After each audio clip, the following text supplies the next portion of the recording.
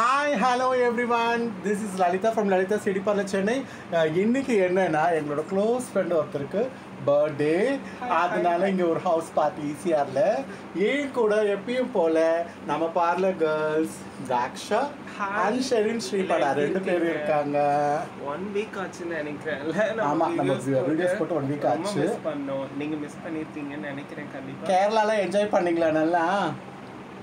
தாக்ஷா உனக்கு நிறைய ஃபேன்ஸ் இருக்காங்க யூடியூப்ல தெரியுமா? தெரியாதா? அவ என் ட்வின் சிஸ்டர் கிடையாது. கண்டிப்பா கிடையாது. அவ என்னோட ஃப்ரெண்டு தான்.